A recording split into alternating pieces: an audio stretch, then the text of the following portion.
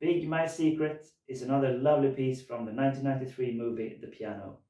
And it feels very much like an improvisation, just letting the notes flow freely in organic piano textures that Michael Nyman finds over only six chords in D major.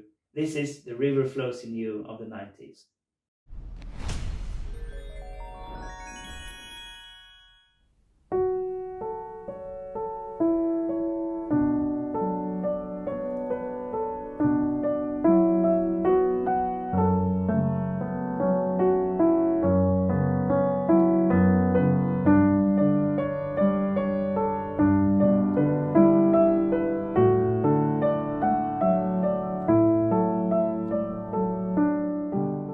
There's no full score in this video because of copyright reasons.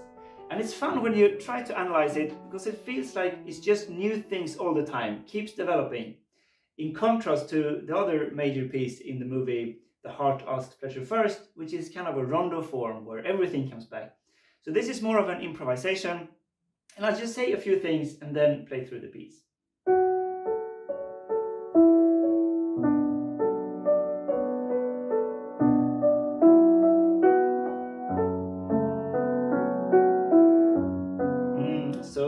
So. So first we have this uh, progression with the textures. It starts with 16th notes, kind of a slow feel. And then when the piece uh, continues, we get 32nd notes, first with like scales and ornaments, when this.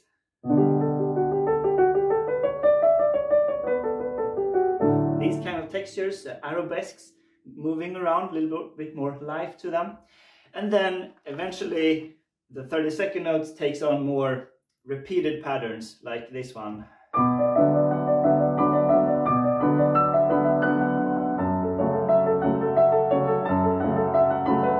And we get these full chords in the left hand. So it's uh, growing the energy through the piece.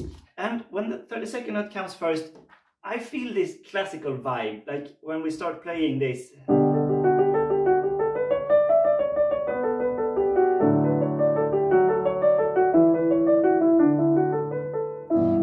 Influence from a classical sonata. So just for example, let's look at Beethoven's sonata in E-flat major called The Hunt.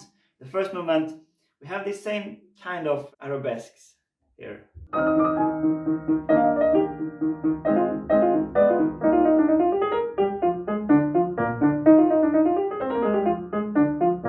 And so on. And uh, in the piano,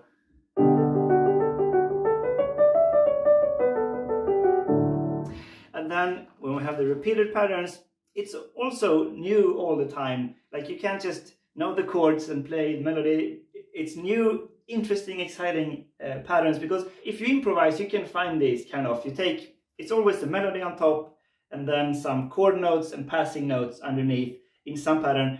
And you can find them when you improvise and play chord. But Michael Nyman has found like the perfect ones that fits perfectly and keeps it interesting. That's how it is a composition in the final form. So for example, we have um, the inverted Alberti bass. So Alberti bass, if it's in the bass, or left hand, and on, the- but now with the melody on top. And then we have the um, River Flows in You texture. When we get the, so in uh, River Flows in You, we have this kind of thing. Now with the 16th notes.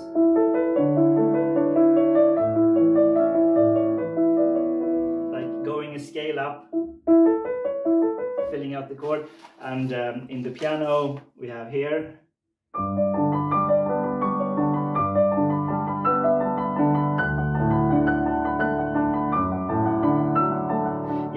As you can see, it, it changes. Uh,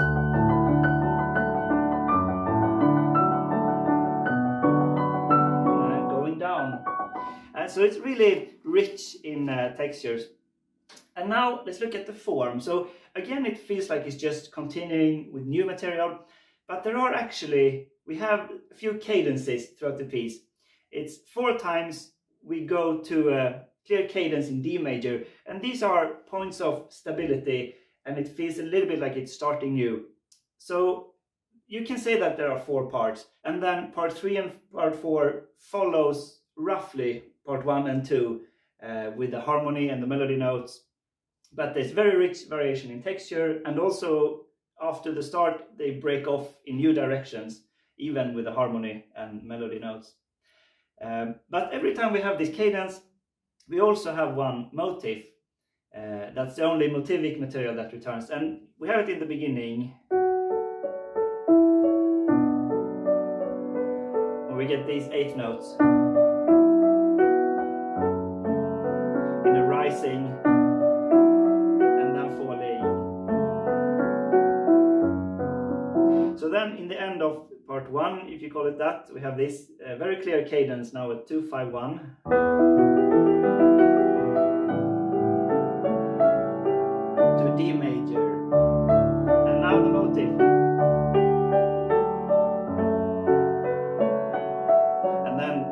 Just continue. Then just show a little bit um, the start of part three. Uh, it starts with B minor, same as the beginning.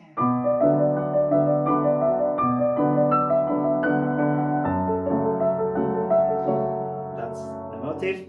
And finally, part four, we're in uh, cadence to D again.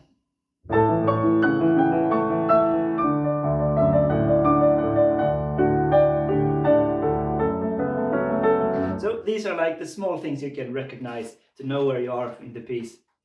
And finally, with the harmony, it's in D major and sometimes alluding to B minor. It starts like in B minor, for example, but they are relative keys. It's a lot of the same uh, idea in uh, the heart asks pleasure first.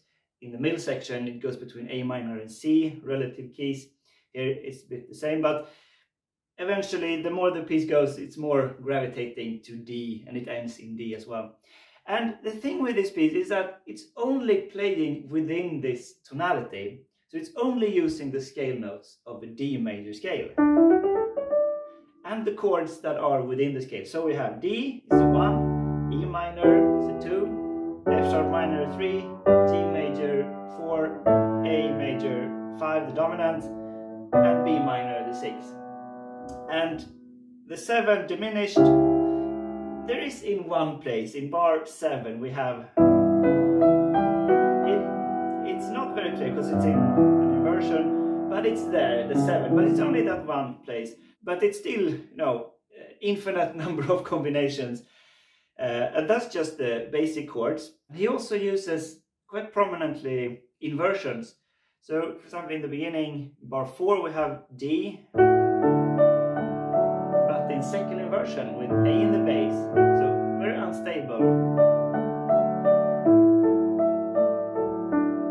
To G first inversion with the arabesque. Back to D in second inversion.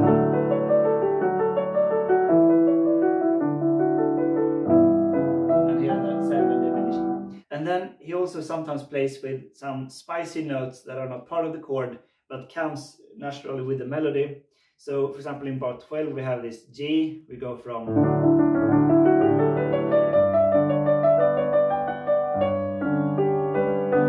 so land on the C sharp over G. And this is the sharp fourth in G, and that is what we call a Lydian chord or a Lydian feel. It's really like uh, pointing upward in some way. First inversion now again. That's pretty much all I have to say about this before I play through. And a special shout out to my Patreon sponsors T Del Negro and S Freeman. And now I hope you enjoy my rendition of this great modern composition.